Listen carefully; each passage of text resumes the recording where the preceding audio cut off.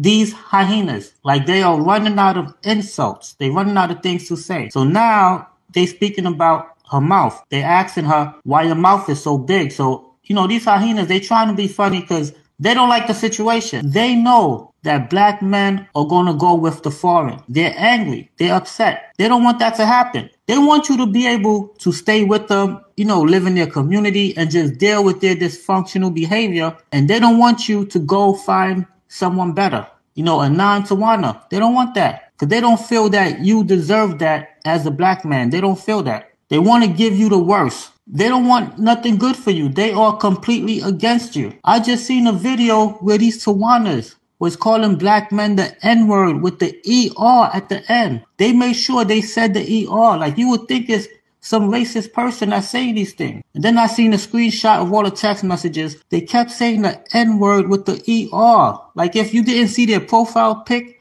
and see that they was a Tawana, you would think it's some racist person. You would think it's some racist Latino person. Why your mouth is so big?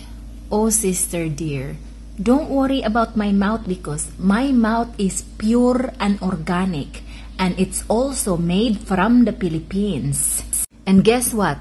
My mouth is super duper virgin and it has never been injected with many chemicals and preservatives. See? Mm. so hurry up, kings kiss my organic mouth now. Mm.